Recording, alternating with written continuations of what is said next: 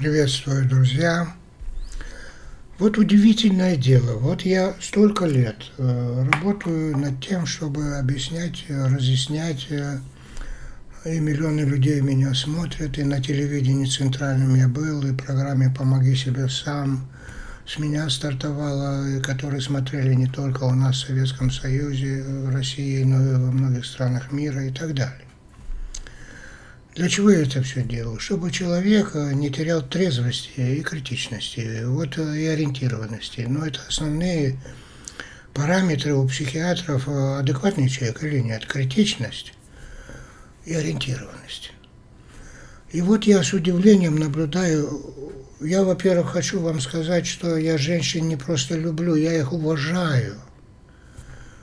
Да, обожаю, готов о них э, стихи писать, э, и маме посвящать, и дочери, и жене, и сестре. И также хочу, чтобы вы были здоровы и любили друг друга, все.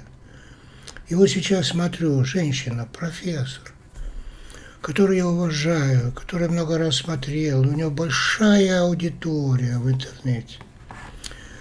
Ну, извините, скажу по-интеллигентски, если можно так выразиться, такую пургу несет про этот квантовый переход.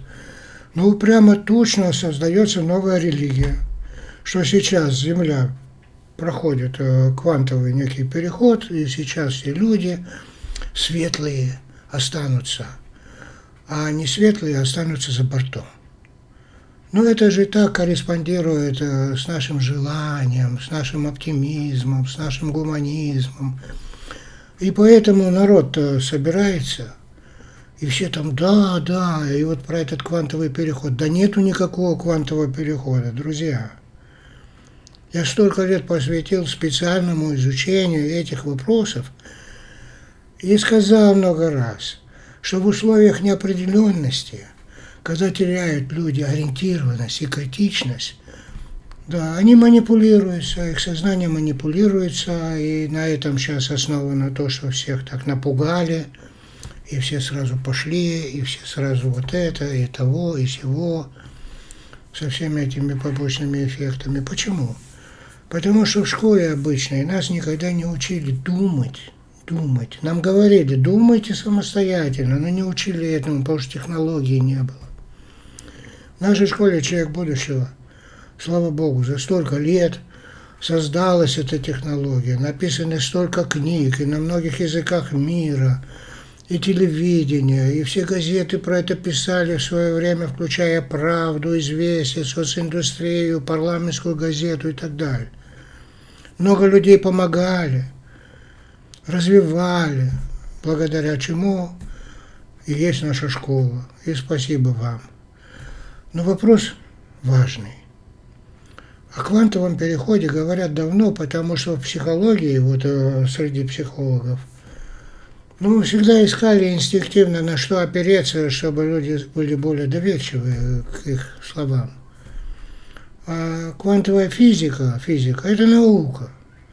И поэтому, когда делают ставку на науку и с помощью флага науки рекламируют что-то, доверие возрастает. И поэтому, например, такое явление, как психологический феномен, как переход из хаоса к порядку, из стресса медитативное состояние релаксации тоже стали называть квантовым переходом. А сейчас начали называть квантовым переходом, что Земля, как планета, переходит там в орбитах, э, делает квантовый переход, э, и создается новая религия. Как это происходит? Обычно мужики создают религии, потому что они более сознательные, но они меряются все время между собой. Вот это самоутверждение. Почему, несмотря на то, что все говорят, что мир лучше войны, все равно войны происходят. Вот эта агрессия мужская, самоутверждение. У меня лучше. Ну, понятно все. У женщин нечем мериться, но, но они берут э, то, что мужчины говорят. И говорят иногда так, я уже как-то говорил об этом. Нам не важно, как устроены часы, главное, чтобы точное время показывали. Но я говорил еще и следующее, но чтобы они всегда показывали точное время, надо знать, как они устроены. Поэтому наука существует. Не надо ее превращать в религию. Не надо, опираясь на научные какие-то данные, развивать религиозную картину мира. Это две картины мира. Объективная и субъективная. Религия построена на многих э, миллионах лет существования человечества. Написано не Богом, а людьми. Да, и много раз переписывались эти все священные писания под определенную канву, под определенную идею. Так вот, женщина, женщина, это прекрасное чудо на планете, это существо, которое самое красивое на свете, самое загадочное, самое пластичное, самое музыкальное, самое танцевальное, самое творческое, самое-самое-самое-самое, но оно замужем, а не мужчина за женщиной. Почему так произошло? Это же не я придумал. Это вот-вот-вот-вот многовековая наблюдательность человечества определила так, что женщина за мужем. Потому что у нее свои задачи, да, она очень часто не только эмоционально, что сразу создаются доминанты в них мысли, а еще и занята деторождением, благодаря чему и есть и мы с вами. Да, друзья, о чем бы мужчина там не бегал, не прыгал, копьем не махал, или мечом, или стрелял, без женщин куда мы денемся? Куда денется род человеческий? И вот эти инстинкт выживания, инстинкт продолжения рода, да, инстинкт самосохранения, бей, беги, бой, и вот как раз-таки скукожиться, спрятаться, голову в песок, ничего не вижу, ничего не слышу, доминанту да, в позу эмбриона защищенного. Так вот, э, у меня же вот эта речь, так сказать, э, программная. Потому что я делаю там райскую группу, куда войдут после собеседования, безусловно, с каждым. Именно войдут люди, которые сохраняют э, критичность мышления, да, и ориентированность. Потому что очень много людей просто не только расчеловечили, лишили разума. И вот эти вот агитаторы за квантовые переходы планеты говорят о хороших вещах, но еще больше добивают критичность человека.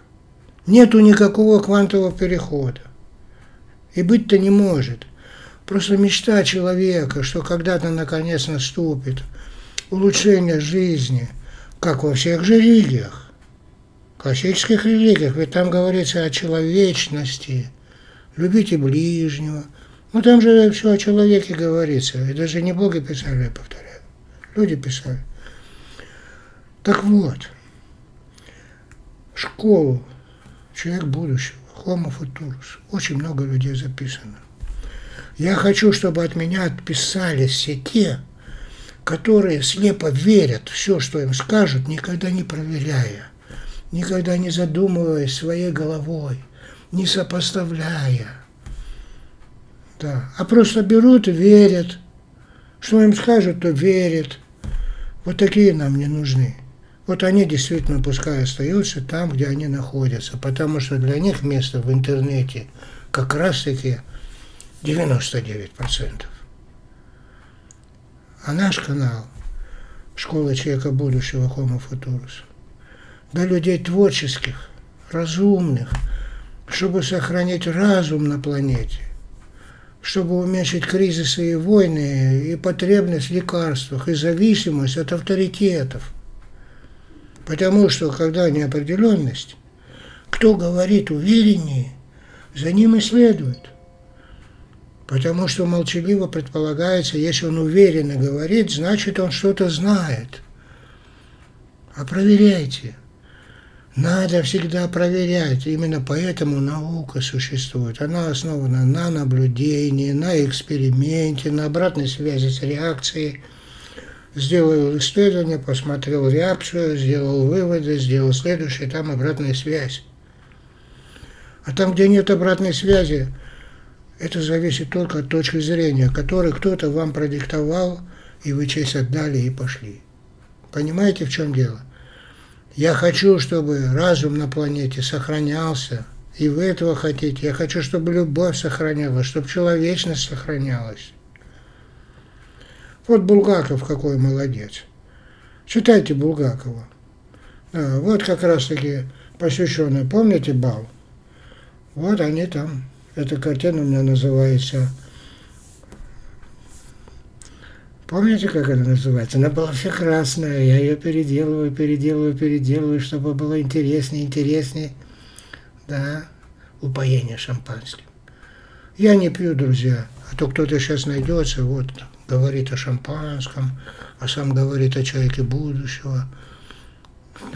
Находится, особенно подростки, которые еще ничего не испытали в жизни – я сам помню, когда был подростком, что бы мне не показывали, я говорю, ну и что, подумаешь. Подросток – это такой период, как сейчас человечество в неопределенности.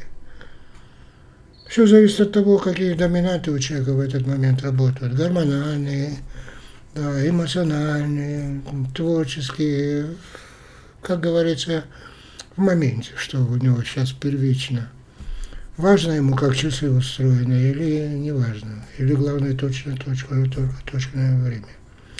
Так вот, друзья, сейчас ситуация неопределенности, и мы находимся все в точке бифуркации, когда от авторитета кого-то, который уверенно говорит и что-то,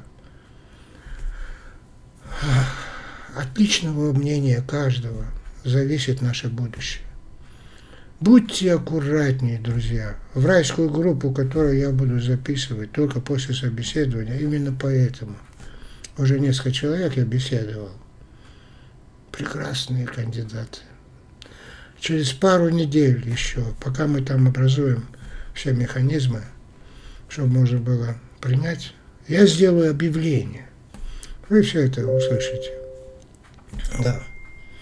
Кто со мной не согласен – спорте, доказывайте аргументами, а не просто так. Вот он говорил или он говорил.